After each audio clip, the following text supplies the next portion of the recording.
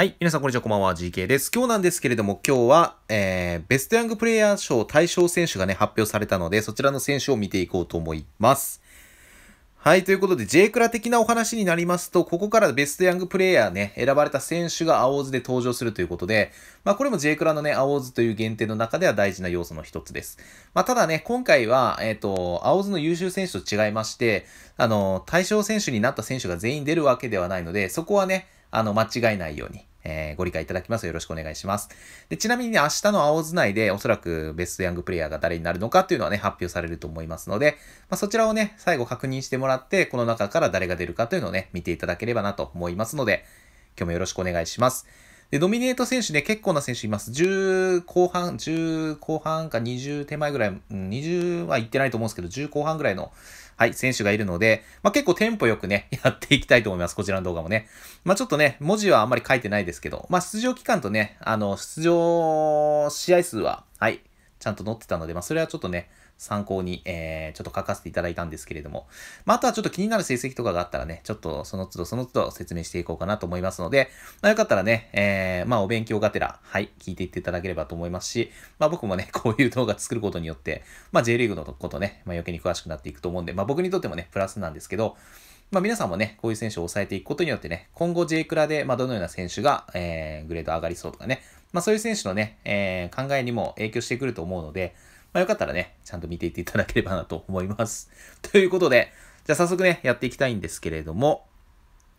じゃあまず1人目の選手からいきましょうか。えー、ちなみにね、あの、選手メーカーの左上から順に行っていきますので、よろしくお願いします。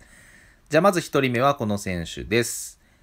はい、大畑歩選手ですね。出場時間はね、20、あ、出場試合数はね、22試合でした。まあ、出場時間1422分ということで、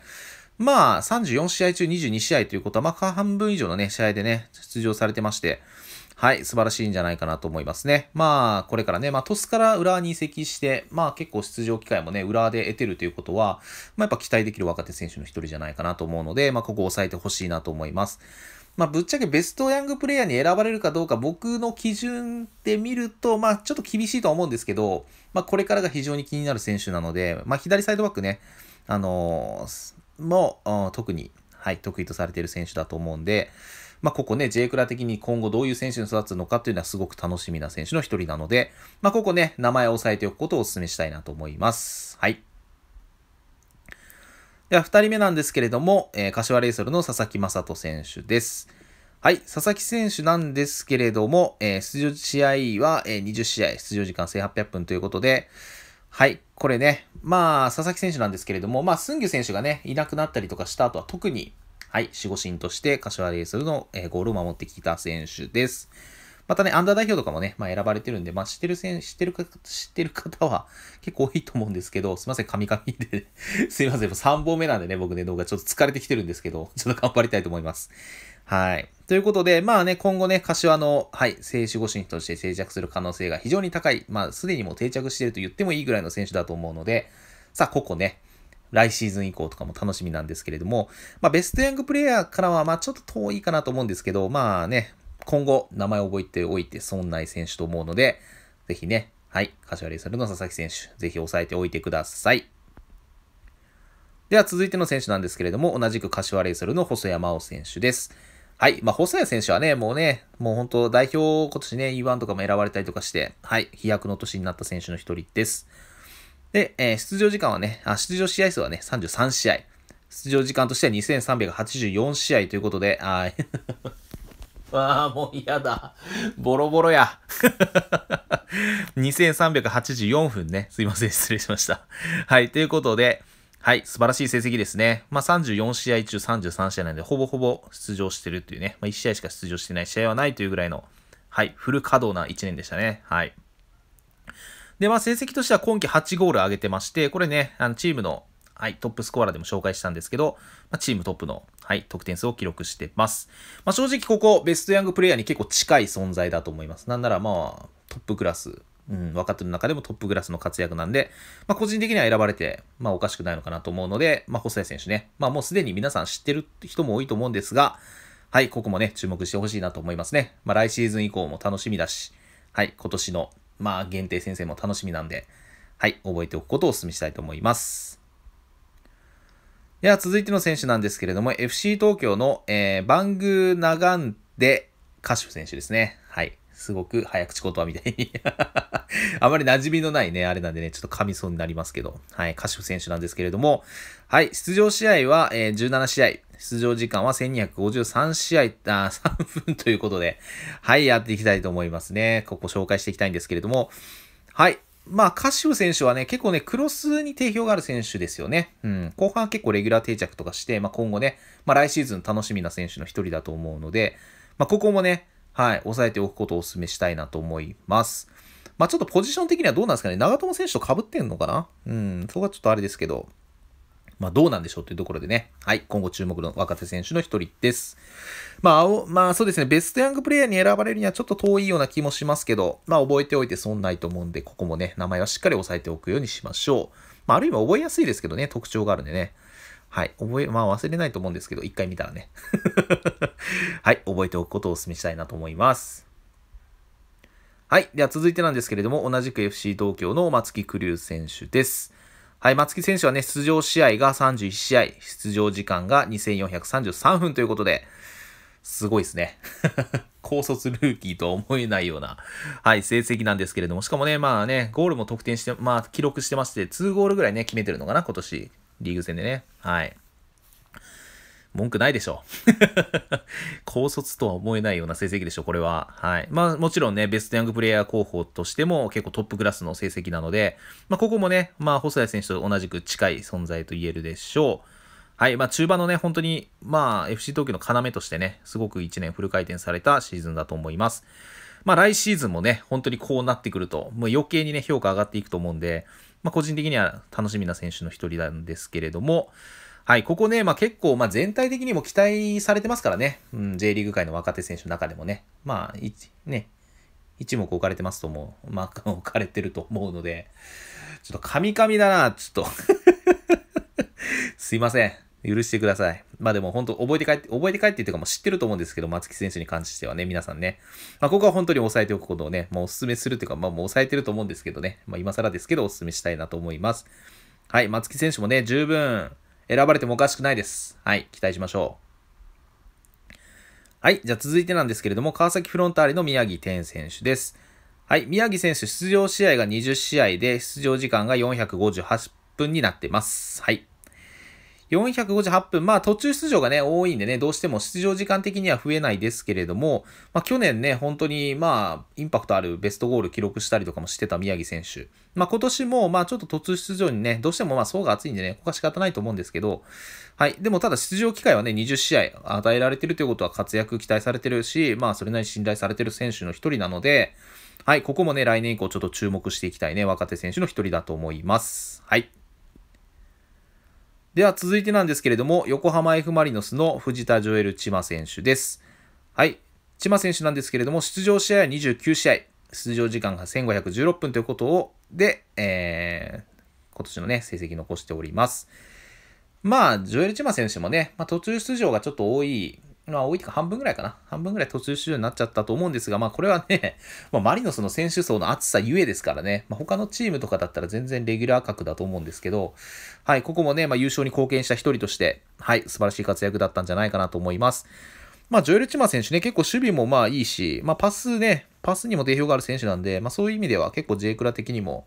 まあ、今後ね、いいカードが出ると、まあ、面白い選手なのかなと思うので、はい、ぜひね、3スキルで見てみたい選手の一人ですね、ここもね。はい。まあ、来シーズンとかね、もっと評価上がっていく可能性も十分にあると思うんで、ここもね、注目し続けたい選手の一人だと思います。はい。じゃあ続いてなんですけれども、えー、湘南ベルマーレの畑大河選手です。畑選手は出場時間が、出場試合が18試合、出場時間が1129分ということで、はい、成績残されてます。まあ、畑選手といえばね、まあ、結構クロス、まあ、ここもね、クロスに定評がある選手ですね。はい。クロス精度が非常に高い選手で、まあ、J リーグ全体で見ても結構上の方じゃないかなと思うんですけどね。ここどうなんでしょうね。まあ、畑選手も、まあね、長年、まあ、まだまだ若いですけど、まあ、アンダー代表とかもね、出てますし、まあ、まだまだ若いんですけど、はい。まあ、こういうね、クロスを武器にね、まあ、今後もっと飛躍することが考えられますので、ここもね、名前しっかり覚えておくのと、まあ、畑選手って意外とね、グレード上がんないんですよね。うん、上がりにくいのかな？上がらないんで、まあ、結構キラ狙いとかするならおすすめの選手の一人だと思います。まあ、僕はちなみに持ってます。はい。期待してます。はい。続いてなんですけれども、清水エスパルスの松岡大輝選手です。松岡選手は出場試合が22試合、出場時間的には1123分ということでね、成績残されてます。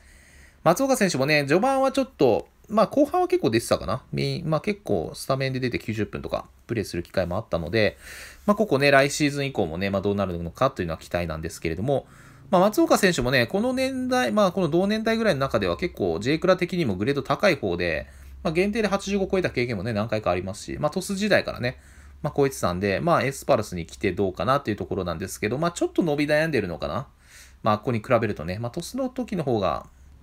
成績的にはどうなんですかね、残してたんかなっていう感じのイメージがありますけど、これね、来シーズン以降ね、ここね、まあ、ここ結構明暗分かれるんじゃないですかね。本当に同年代の選手たちも結構活躍し始めてる、来てる中で、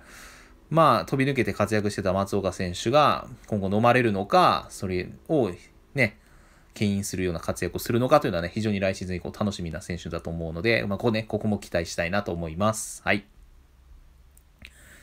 はい。じゃ続いてなんですけれども、同じく清水エスパルスの鈴木唯人選手です。はい。鈴木選手なんですけれども、出場試合は20試合、出場時間は1373分ということで、まあ、ここも、えー、成績残されてます。まあ、出場試合的にもね、半分は出場しているというところと、まあね、ほんと鈴木選手もね、アンダー代表とかで活躍すごくしている選手の一人だと思うんですが、はい、ここね、まあ、リーグ的な成績で言うと、まあ、そういう代表期間の抜けとかも多分あると思うんで、まあ、そもそもフル出場は多分難しいんじゃないかなと個人的には思うんですけど、まあ、その中でも20試合、はい、出場しててこれだけの成績、まあ、3ゴールぐらいだったかな。もうちょっとゴール数欲しいんでしょうけど、個人的には。うん。個人的にはとか、選手的にはね、うん、欲しいところじゃないかなと思うんですけれども、はい、ここもね、まあ、鈴木選手もね、結構 J クラ的にも、まあ、期待値も高いでしょうし、まあ、限定もね、85以上超えてきたりとかしてる選手なので、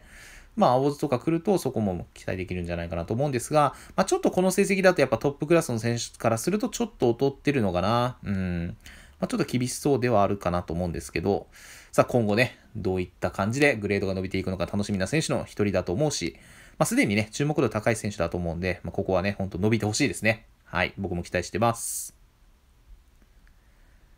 はい。じゃあ続いてなんですけれども、えー、ジュビロ岩田の吉永真宏選手ですね。吉永選手は出場時間が、えー、出場試合数が18試合、出場時間が649分ということで、えー、成績残されてます。まあ、ここも途中出場がちょっと多かったですかね。はい。まあ、でもね、若さまだまだありますし、まあ、ジュビロ。ジュビロね、ちょっとね、チーム状況いろいろなんか制裁とかがあって、うん、ちょっと苦しくはなってると思うんですけど、まあ、そういったとこをね、救う救世主の一人として、はい、吉永選手で来シーズン以降頑張ってほしいですね。まあ、ここも期待していいんじゃないかなと思いますね、若手選手の中ではね。はい。では続いてなんですけれども、京都産が FC の川崎壮太選手です。川崎選手は出場試合が28試合、出場時間が2173分ということで、えー、成績残されてます。まあ、川崎選手もね、結構もう J クラー内ではね、もう知名度ある選手だと思うんですが、まあ結構ね、まあ、エクスペもね、最近特に投票数すごく入ってて、まあ人気の選手なのも伺えますし、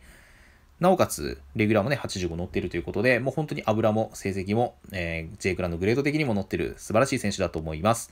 まあ、ここもね、成績だけ見ると、はい、青津でね、まあ、ベストヤングプレイヤーで選ばれて青津行きということも考えられなくはない成績だと思います。まあ、多分、比較対象結構松木選手とかとね、ポジション被ってるんで、そことの比較とかになってくると思うんですが、うーん、まあでも、うん、まあちょっと松木選手のが優位なのかな。うん。まあただ川崎選手もね、もう負けてないと思うんで、まあここね、選ばれてもおかしくないぐらいの成績は残してるんじゃないかなと思います。まあ仮にベストヤングプレイヤー選ばれなくても今後ね、まあ京都の、はい、まあ下手したらトップグレード選手になってる可能性とかもね、まあ宇高選手の次ぐらいの、まあ時点ぐらいになっててもおかしくないと思うし、だんだん抜いてもね、おかしくないぐらいの活躍をね、今後期待していきたいなと思います。はい。では続いてなんですけれども、えー、セレッソ大阪の西尾龍也選手ですね。西尾選手は、出場時間が、えー、出場試合が24試合、出場時間が1990分ということで、えー、成績残されてます。まあ、ここもね、西尾選手ももうセレッソの要として、まあ、センターバックね、本当に硬い守備陣を牽引しているイメージなんですけれども、まあ、4日選手とかとね、共にね、本当に硬い守備陣を、特にセンターバックね、2人コンビとして形成されてた1年間じゃないかなと思います。まあ、個人的にはね、この前の最終戦かな？とかもすごく、まあ、いい守備してたような気もするんですけどね。うん。まあ、個人的には、まあ、アンダー代表とかでも期待してますし、まあ、センターバックのこの年代の中では結構トップクラスだと思うので、まあ、ここも正直成績だけ見たら、まあ別にね、負けてはないし、まあ、24試合出てて、まあこれ代表期間とかもあるんで、ちょっと抜けてるとかもあるんでしょうけど、うん。悪くないですね。まあ期待できると思います。今後、うん、まあ正直グレード74のレギュラーですけど、これもっと上がってもいいと思うし、うん、いつ上がってもおかしくないと思うんで、まあここは本当に、はい、そのうちなんか、J クランでも、まあ、なんか目玉選手になってる気がするような、僕も結構期待してる西尾選手なんですけれども、まあ、今後どうなるかね、注目ですね。はい。はい。では次なんですけれども、同じくセレッソ大阪の北野颯太選手です。北野選手は出場時間、試合は19試合、出場時間が585分ということで記録残されてます。まあ、途中出場がね、主になってたと思うんですが、まあ、北野選手といえば、ルヴァンカップね、のニューヒーロー賞とか取ってるんで、まあ、そっちのカップ戦での活躍はね、結構ね、目立ってたイメージですかね。はい。まあ、シーズンの方もね、まあ、19試合も出場されてますし、まあ、今後ね、非常に楽しみな選手の一人だと思うので、まあ、ここもね、名前しっかり押さえておいて、そんな選手の一人だと思うので、はい。ぜひ、覚えておいてください。はい。では続いての選手なんですけれども、ヴィッセル神戸の小田裕太郎選手です。小田選手の出場試合は21試合、出場時間は791分ということで記録残されてます。もう小田選手ね、結構イメージとしては今年ね、結構出てましたね、確かに。まあ、サブでの途中交代の出場が多かったイメージですが、まあ、ただね、そこでの、まあ、ドリブルの良さとかがね、結構生きてきてたシーズンじゃ、シーズンだったんじゃないかなと、個人的には思うし、まあ、やっぱり後半のね、まあ、神戸の粘り強さを演出してた一人だと思うので、まあ、ここはね、結構今年評価上がった選手なんじゃないかなと思います。まあ、アンダー代表とかもね、長く、まあ、名を連ねてる選手ですし、今後いつね、本当に名を上げてグレードがドンと上がってもおかしくないと思うので、まあ、ここもしっかりね、名前を押さえてお、えー、覚えておくことをお勧めしたいなと思います。はい。では続いてなんですけれども、サガン鳥栖の中野真也選手です。中野選手は出場試合が24試合、出場時間が1303分ということで、えー、成績残されています。はい、中野選手もね、ちょっとね、増えましたね。出場機会ね。まあ、24試合、1303分ということで、はい。まあね、今年ね、まあ、主力ポジションは左サイドバックだと思うんですけど、まあ、センターバックもね、結構、守る機会とかもあったみたいで、まあ、そういった面でもね、いろいろ経験されたシーズンだったんじゃないかなと思います。まあ、クロスとかもね、定評がある選手だし、うん、今後ね、まだまだ、しかも若いしね、この中でもね。まあ、そもそも、うん、若いんで、本当に伸びしろはまだまだ、まあなんならまだ育成途中なんでね、まあこれがね、マックスではない、まあこれからどうなるせどうなっていく選手なのかというのはね、非常に期待できる選手だと思うので、まあここもね、しっかり名前を押さえておくのと、まあ結構有名だと思いますね。中野選手もね、うん、アンダー代表すごく若くして選ばれたりとかね、してますしね。はい。まあ、ここも、はい、オリンピックとかでもね、まあ、注目ちょっと浴びた選手だと思うんで、まあ、皆さん知ってると思うんですが、はい、名前をしっかり押さえておいてください。はい。では本日最後の選手になります。サガントスの本田風知選手です。本田選手の出場試合は19試合、出場時間は1124分、記録残されてます。まあ、本田選手といえば、まだまだね、本田選手もまあ若いんですけれども、まあ、昨シーズンね、ジョーカーとかでね、85ぐらいが出てたりとか、まあ、J クラ的にもグレード結構評価されてる方じゃないかなと思うんですけれども、まあ、グレード的にもね、今回もレギュラーも70というところで、まあ、本田選手ね、今後伸びしろが期待される選手だと思うんですが、はい。まあ、本田選手といえば、まあ、シュートもね、当然、まあ、ミドル系のシュートとかも結構定評ある選手だと思いますし、うん。まあ、パワー型のイメージも結構あるんですけど、さあどうですかね？ここからどう成長していくのかっていうのは非常に はい、楽しみな選手の一人だと思うんで、はい、ここもね、長い目でね、見守っていきたいなと思いますね。はい。まあ、いつ、ここもね、まあ、本田選手もいつね、もうきっかけ掴んでグレードバーンって上がってもおかしくない選手の一人だと思うんで、まあ、ここもね、期待していきたいと思いますね、今後ね。はい。では、全選手紹介が終わったんですが、まあ、個人的にま選ばれそうな選手はちょこちょこと言っていったんですが、まあ、特に松木選手、細谷選手、まあ、時点川崎選手ぐらいじゃないですかね。多分この3人ぐらいじゃないかな。うん、まあ、西尾選手とかもいいですけどね、成績的にはね。まあでも松木選手と細谷選手の一騎打ち臭い気もするんですけど、さあ、どうでしょうというね。うん。細谷選手の方がなんか優勢なような気がしますけど、明日誰になるのがね、皆さんの楽しみですね。で、選ばれた選手は、えー、出てきますので。で、個人的に、まあ、その2選手で言うんだったら、松木選手が選ばれたら多分、ライト圏周りな気がしますね、ギリギリね。84とか3とかで。細谷選手だったら超えますね。去年の荒木選手みたいに超えてくると思うんで、はい。まあ、どっちが出ても、まあ、それなりに皆さんには重要ある選手の2人だと思うので、まあ、2人で決まったわけじゃないですけどね、個人的な見解ですよ、これね。2人に絞ったとしてね、まあ、どっちが出てもいいと思うので、はい。まあ、素晴らしい選手たちなので、まあ、これからね、本当に選ばれなかった選手も、まあ、次世代のトップクラスの選手候補なので、しっかりとね、名前を押さえておくのと、まあそういった選手を狙ってね、今のうちにグローリー落ちる選手は周回してとかも面白いと思うので、ぜひね、今後の J クラに活かしていっていただければなと思います。ということで、じゃあ今日の動画は以上になります。ご視聴ありがとうございました。これにで失礼します。バイバイ。